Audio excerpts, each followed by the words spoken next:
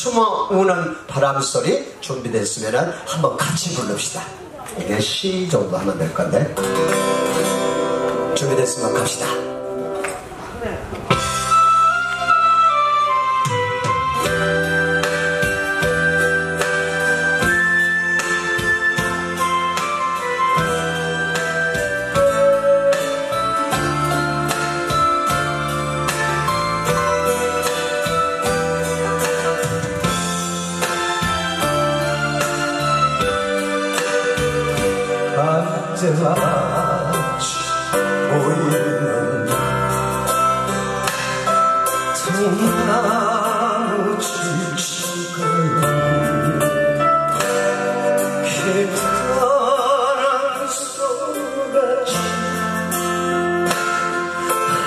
하얗게 밤을 새우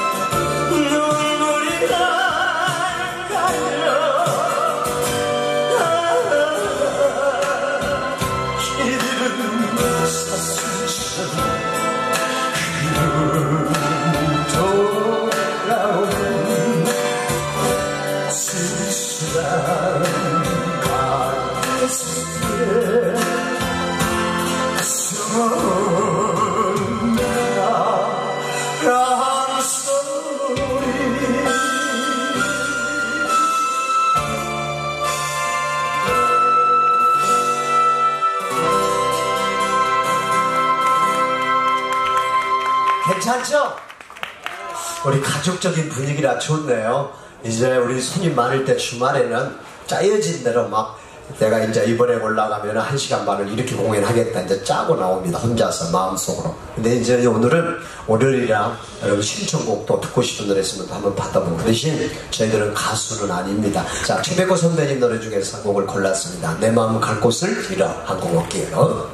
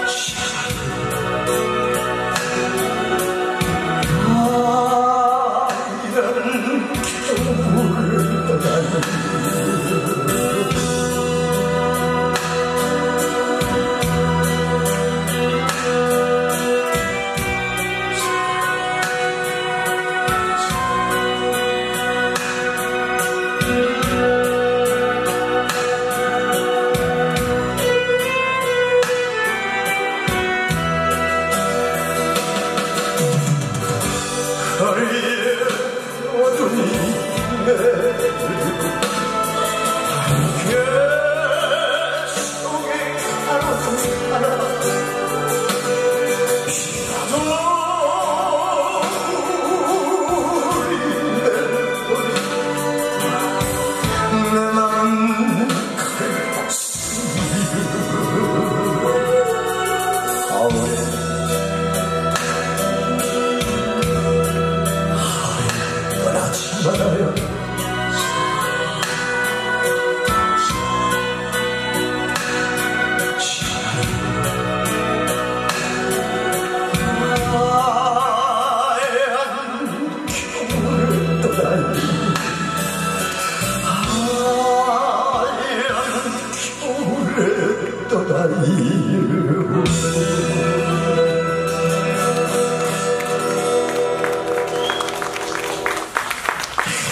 내가 봐도 엿장실을 왜 했나 싶어 추억 광교에 가가지고 라이브 카페에서 밤에 조금씩만 하고 몇 푼 벌고 몸이나 팔고 그러면 훨씬 좋을 텐데.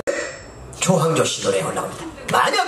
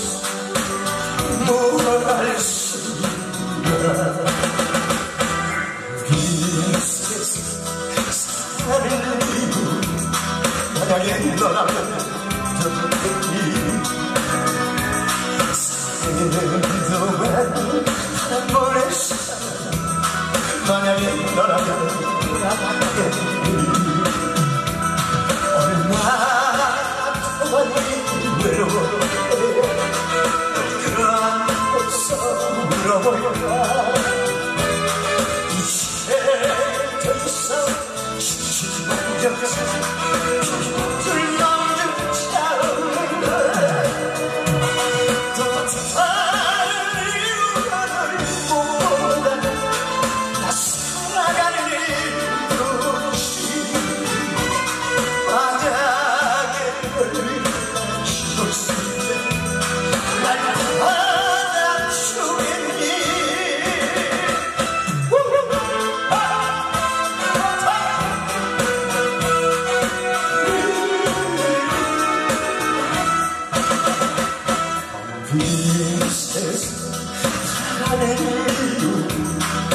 만약에 너라면은 더욱이 사랑도 한 번의 사랑 만약에 너라면 더욱이 얼마나 많이 외로워 날 끌어안고 서 울어볼까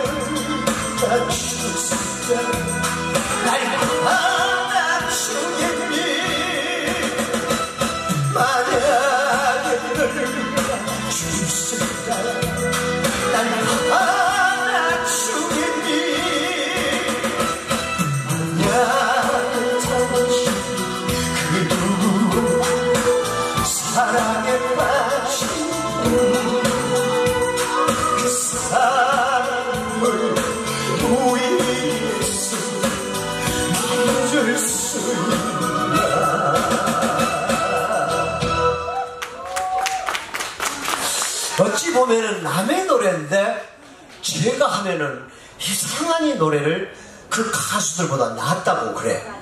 음, 언젠가 하면은 저쪽에 KBS에서인가 이번에 미스터 트롯이라고 하는데 한번 전파리 어님 한번 출연해 볼 생각 없냐는데 나는 안 갑니다.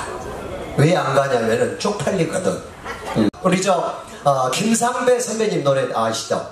어, 그 노래 한번 할까요? 어, 떠날 수 없는 당신이란 노래가 있습니다. 그래서 이 노래를 한번 해보려 합니다. 저는 이제 이 각설이를 많이 도움을 주고, 야, 이 길로 가라 그랬던 분이 사실은 음, 제가 MC 생활할 때 김상배님이 가수였거든요. 그래서 끼가 너는 그런 쪽으로 좋다. 뭐 악기를 잘 다루고 그래서 그런 쪽으로 했으면 좋겠다. 그래가지고 저도 이 길을 하게 됐습니다. 자, 준비됐으면 떠날 수 없는 당신 한번 가겠습니다. 차렷!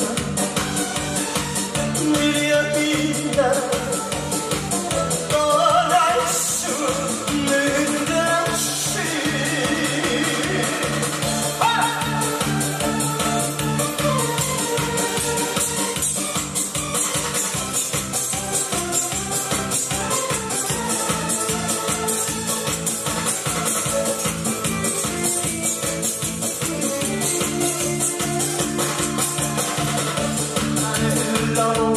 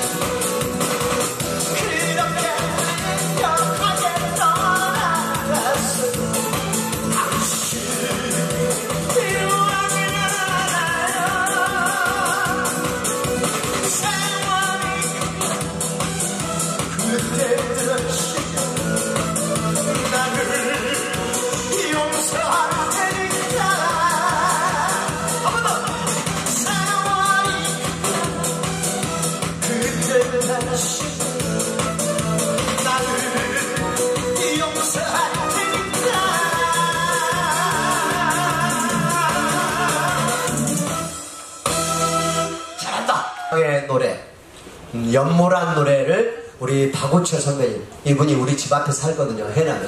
어, 옛날에는 나하고 막 고구마도 같이 캐먹고 그러더니 이 노래 제가 한 3년 동안에 연모를 불러 제꼈더니 히트가 돼가지고 CD가 많이 팔렸어요. 그러니까 지금은 지금은 이제 전화기도 바꿔버렸던만 씨부라. 어, 그래도 어떻게 내 고향 형님이니까. 여러분 사주시면 여러분 고맙고요.